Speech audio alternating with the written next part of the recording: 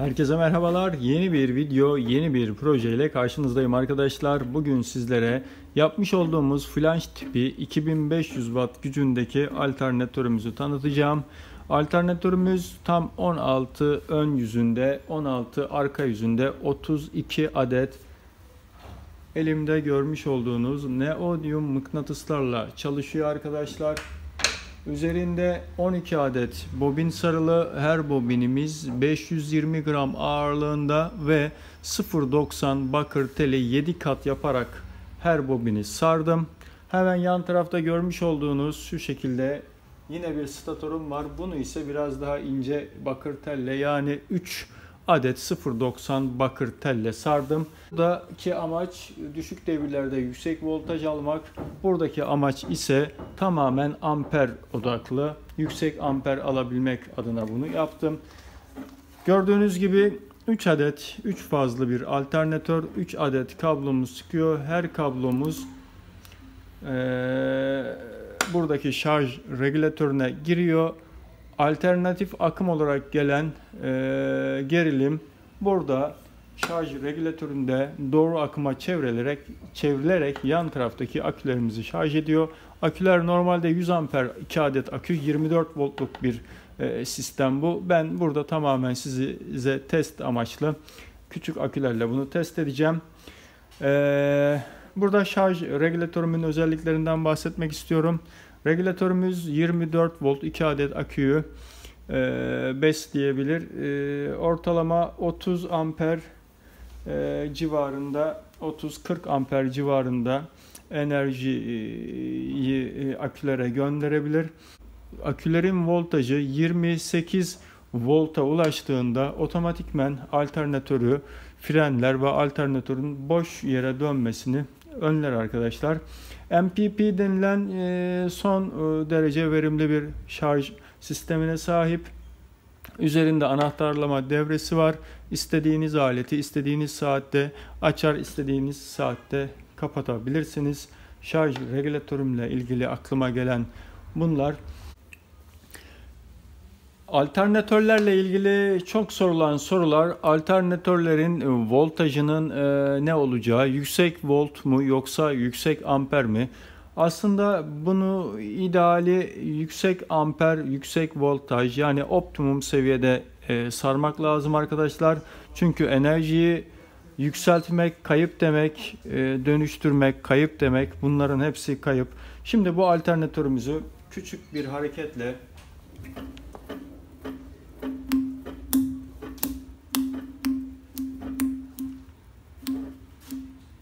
Gördüğünüz gibi durana kadar amper veriyor arkadaşlar.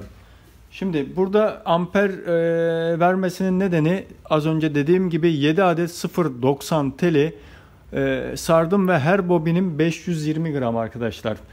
E, yani bunun içerisinde 6 kilodan fazla bakır tel sarılı şu anda. E, alternatörün kablolarını bir trafoya girersiniz. Gördüğünüz gibi nasıl kıvılcım attığını buradan görüyorsunuz. Hoşuma gitti bir daha yapacağım.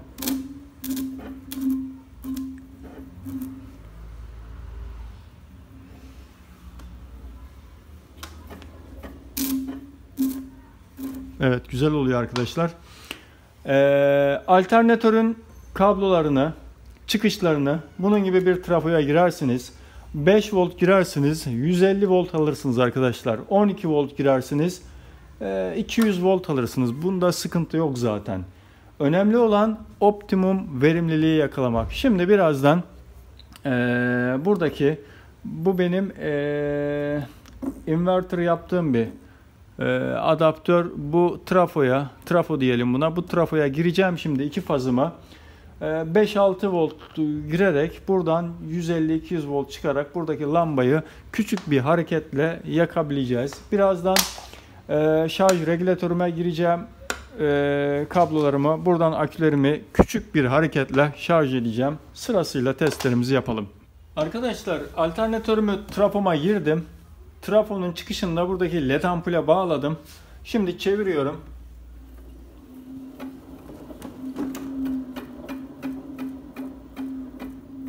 Gördüğünüz gibi led ampulüm tamamen parlak bir şekilde yandı. Şimdi hemen giriş voltajıyla çıkış voltajını ölçelim. Alternatörümüzün çıkışını e, buradan izleyeceğiz. Bu da trafo çıkışı. Alternatörümüz ortalama 5-6 volt üretirken trafo çıkışının kaç volt verdiğini buradan gözlemleyebileceğiz.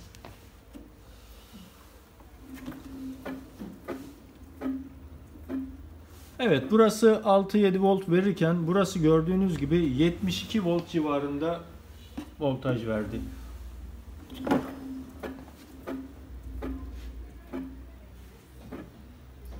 Yani alternatörün voltu çok önemli değil arkadaşlar. Önemli olan amperi. Sıra geldi alternatörün şarj regülatörüne bağlantı aşamasına arkadaşlar. Şu şekilde kameraya yaklaştırırsak gördüğünüz gibi e, hibrit bir şarj regülatörü. Burada solar panel bağlayabiliyorsunuz. Artısı eksisi var. Burada da e, rüzgar türbünü yazıyor. Yani wind input yani bunlar giriş alternatif akım girişlerini görüyorsunuz. 3 adet alternatör çıkışımızı buradaki girişlerimize giriyoruz arkadaşlar.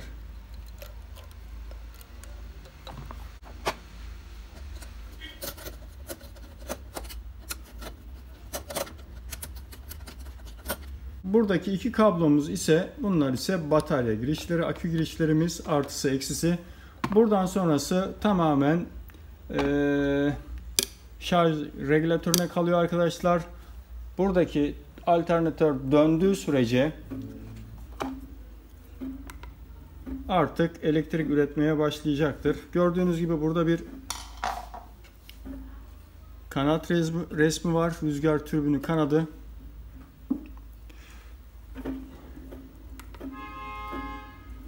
Alternatörüm dönmeye başladığı zaman buradaki kanatlarda dönmeye başlıyor. Ortalama 3 volt 4 volt civarında bunlar dönmeye başlıyor. Şimdi hemen e, akülerin nasıl şarj olduğuna bakalım arkadaşlar. Şarj regülatörü 24 volt e, sisteme göre uyumlu. Yalnız 12 voltu da besleyebiliyor arkadaşlar. Şu anda iki akümü paralel bağladım. Gördüğünüz gibi akü voltajım 11.8 volt. Watt bölümü şu anda e, volt 0, amper 0. E, buradan dediğim gibi wattı, voltu, amperi, akü voltajını görebiliyorsunuz arkadaşlar. Şimdi alternatörümüzü çevirerek mesela amper bölümünde bırakalım. Çevirerek kaç amper enerji ürettiğimize bakalım hemen. Öncelikle elimle kaç volta kadar çıkarabildiğime, çıkarabildiğimize bakacağız arkadaşlar. Hemen şu şekilde çeviriyorum.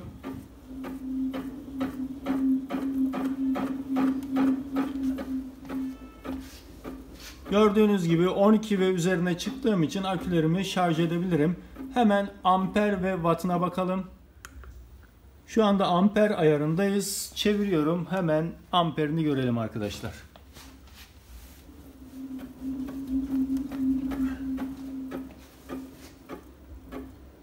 Evet 4 ampere yakın elimle çevirdiğim zaman 4 ampere yakın enerji akülere yedekleyebildik. Hemen wattına bakalım arkadaşlar. Hemen buradan watt kısmına geliyoruz. Gördüğünüz gibi watt. Watt'ı görelim.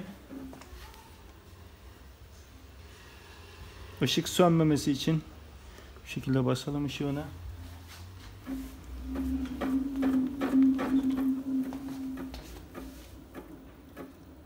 ...60 Watt'a yakın akülerimize yedekleme yapabildik. Arkadaşlar alternatörün tabii ki baştan sona kadar yapımıyla ilgili video gelecek. Ama tabii ki yoğunluk nedeniyle bunları şu anda biraz erteliyorum. İnşallah en kısa zamanda bunun baştan sona yapım aşamasını sizinle paylaşacağım. Videomu beğenirseniz like atarsanız sevinirim. Kanalıma abone olursanız iyi olur. Yeni bir videoda buluşuncaya kadar hoşçakalın.